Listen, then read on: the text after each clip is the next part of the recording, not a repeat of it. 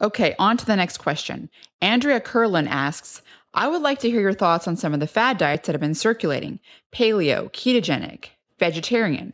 Advocates of each of these often claim that their diet is the best for inflammation, yet they are all different. I think there are benefits to the perspectives that are brought by each of these various philosophies, though there might be contexts that make one or another make more sense. I personally choose a more middle of the road route and eat what might be loosely termed a paleo ish type of diet. The good news is that some of these diets have aims that sort of overlap with one another. For example, both paleo and ketogenic style diets emphasize cutting out refined carbohydrates and refined sugar, which in and of itself has a dramatic effect on lowering inflammation, lowering cancer risk, cardiovascular disease risk, dementia risk, and delays aging, all of which we talked about in more detail a minute ago when discussing how cutting out refined sugar is one of the big changes a person can make to have a rapid impact on personal health. The paleo diet, in contrast to some of the popular culture's flavors of keto, emphasizes eating a lot of vegetables and fruits, which also comes with the package in vegetarian diets as well. As I mentioned earlier, fruits and particularly vegetables are a great source of micronutrients and other important compounds such as folate, magnesium, vitamin K1, calcium, vitamin A, vitamin E, vitamin C, potassium, lutein, zeaxanthin, pterostilbene, anthocyanins, and other polyphenols and flavonols. I already mentioned how incredibly important these micronutrients are, how 22% of all enzymes require some micronutrient to work properly, and how important they are for metabolism, mitochondrial function, neurotransmitter production, antioxidant and anti inflammatory pathways, immune function, brain function, repair enzymes, basically everything important for preventing disease and healthy aging. One of the problems with certain variations of the ketogenic diet is that without a great deal of care to avoid this pitfall, it can lead to inadequacies or deficiencies in some of these micronutrients, and you may not get as many of the other beneficial compounds present in plants as well. A great example of this might be the flavonols in blueberries, just by way of example. Fruits and vegetables, which again, it seems the paleo diet and vegetarian diet focus a bit more on, are also a great source of various types of fiber, including fermentable fiber and non fermentable fiber. Fiber is not a single nutrient, which is why fiber supplements are no magic bullet either.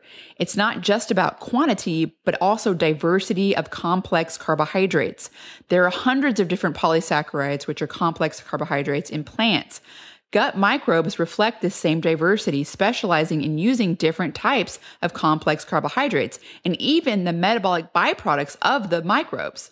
These microbes then produce short chain fatty acids that impact our health in a variety of ways. This is why eating only one type of fiber, as in from supplementation, is ultimately a failed strategy. The best way to increase your microbial biodiversity is to actually eat a variety of polysaccharides from a diverse diet of plants and vegetables, as well as fruits. For example, lignans and cellulose, which are found in plant cell walls, are non fermentable fiber that help move food and other byproducts through the intestines. Examples of fermentable fiber that are eaten by a wide variety of commensal bacteria in the gut include pectins, which are found in fruits and berries, gums, which are found in seeds, inulin, which are found in onions, garlic, artichoke, resistant starch, which is found in bananas and legumes. Green leafy vegetables also contain a prebiotic known as sulfoquinovose, which also feeds beneficial gut bacteria in the gut. In addition to diversity, however, we also need volume of dietary fiber. Figuring out what this golden amount is to keep our microbes metabolically satisfied and not literally starving is tricky. The Institute of Medicine recommends men 50 years of age and younger get at least 38 grams of fiber per day, and women 50 years of age and younger get 35 grams of fiber per day. Those numbers drop slightly for adults older than 50. But traditional societies, for example, those that exist in places like Tanzania that are living a hunter gatherer lifestyle, can get around 200 grams of fiber, compared to the norm for US, which is shockingly only about 15 grams per day on average either by comparing to traditional societies or just taking the Institute of Medicine's recommendation, most people miss the mark. It is therefore important that whatever diet you do choose, you ultimately ensure your microbiome has adequate substrate which survives digestion to make it toward the end of the digestive tract where the majority of these microorganisms live and interact with our immune systems and also our brains. The big problem with a low fiber diet, which in the context of this discussion may possibly be a version of the ketogenic diet, again, unless special care is taken, is that it may not provide this substrate. Fats, proteins, and sugar are all absorbed in the small intestine earlier on, but all of the hundreds of trillions of bacteria that are in our gut and regulate our immune systems, brain function, are more at the end or the distal part of our large intestine called the colon. When we eat fiber deficient foods, our gut microbes starve, but to keep from starving, they eat and cannibalize the gut barrier, which is made of carbohydrates and mucin. In terms of magnitude, low fiber has the largest negative effect on breaking down the gut barrier. Additionally, one study showed that a low fiber diet caused up to a 75% depletion in half of the gut bacterial species. That's a magnitude of effect that sounds almost on par with actually taking a round of antibiotics, if you think about it. Okay, so I voiced some real concerns about possible implementations of certain variations of ketogenic diet. But there are also many other benefits of a ketogenic diet. In my opinion, one of the main benefits from the ketogenic diet is a steady stream of ketone body production, particularly beta hydroxybutyrate. Beta hydroxybutyrate is a fascinating, mostly anti inflammatory compound that also plays an antioxidant role as well. Altogether, most studies in animals link the production of beta hydroxybutyrate to lower oxidative stress, lower inflammation, improvements in mitochondrial respiration and ATP production, and improved brain function. It also may change gene expression in a positive way by regulating class 2 histone deacetylases. As I mentioned earlier in another question, the ketogenic diet has also been shown to lower blood glucose levels and improve insulin sensitivity and lead to weight loss in some individuals. But this is not true for everyone, as some people do experience negative metabolic effects, likely due to genetic variation, which is why it may be helpful if you experiment with this diet to keep an eye on some of the blood biomarkers mentioned earlier to make sure that if you do experiment with it, you're not one of the folk that it may not be ideal for in the long term. It's also possible to ramp up ketone body production for short bursts by kicking off evening fast a bit earlier, playing it strict, and following some of the time restricted eating or intermittent fasting protocols out there. Going back to the paleo and vegetarian diets, while they both focus on eating whole vegetables and fruits, they obviously differ in that vegetarian diets lack meat and have even heavier emphasis on plants, obviously. One potential drawback from the vegetarian diet is that people on this type of diet must put in a little more effort to get some of the micronutrients that are found in meat, such as the marine omega 3 fatty acids, EPA and DHA, iron, zinc, vitamin B12, selenium, for example. Iron, which in addition to being important for red blood cells to carry oxygen to all tissues, is also required to produce neurotransmitters and myelin. Non meat sources of iron, such as kidney beans or lentil beans, contain iron that is bound to something called phytate. There are large bioavailability differences between iron that is in heme, which is how it is found in meat, compared to iron that is in phytate from a plant source. The bioavailability of iron in phytate is about 1.8 times lower than the iron and bioavailability from heme.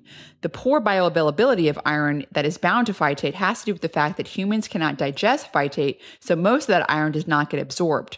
For this reason, the RDA for iron for vegetarians should be 1.8 times higher. The RDA for adult males is about 8 milligrams a day, and for premenopausal women, about 18 milligrams a day. A lot of iron is lost during menstruation, which is why menstruating women are a high risk for deficiency in iron. In fact, approximately 16% of all menstruating women are iron deficient. Too much iron, however, can cause serious oxidative damage and other problems, which is why it's a good idea to get iron levels measured instead of blindly supplementing. This is just one example of what I mean by vegetarians having to work a little harder and think about the complexities like this to make sure they get all of their micronutrients. There are other examples. A great one I mentioned earlier are the omega 3 fatty acids. It may be tempting for vegetarians to just dose up on conventional plant sources like flaxseed, some people have a gene polymorphism in a gene that encodes for the enzyme that converts the plant omega 3 ALA into EPA and DHA, the ones I referred to as marine omega 3 fatty acids a moment ago. And this can cause them to not convert as well as others. This can be circumvented by supplementing with something like microalgae oil and possibly eating higher concentrations of ALA, however. Or you may just be lucky and have a highly efficient converter of ALA, in which case it may not be a problem. Similarly, essential amino acids are much more abundant in meat and may be something that vegetarians may need to work a little harder to make sure they are getting enough of, particularly in older age. One study looking at people over 65 years of age found that there was an increased mortality rate with low protein intake, likely due to frailty. As I mentioned earlier, starting in middle age, we lose about 0.5 to 1% of muscle mass a year, and essential amino acids are important for maintaining muscle mass, along with putting those muscles to work, of course. But if you recall earlier, there may be a flip side to that. Folks on a paleo or keto diet do include meat. This means that they may need to take special care to be active and not sedentary to put that IGF 1 to use.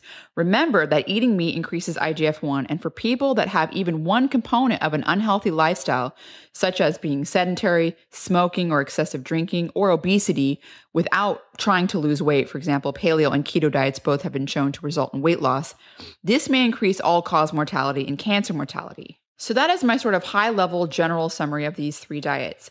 Like I said, I personally choose to try to get the best of all worlds. I eat paleo ish, including fish and other meats, but with the big emphasis on plants that otherwise might be more common among vegetarian eaters. I am very vigilant about avoiding refined or processed foods, especially refined sugar. I practice time restricted eating and intermittent fasting to get the occasional dose of the ketone body beta hydroxybutyrate.